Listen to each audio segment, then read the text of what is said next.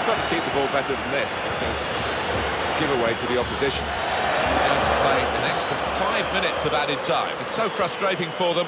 They're on the attack, they can't break through. Well, he will say that the ball should have come quicker. He's offside. Yeah, and I think defensively, Yeah.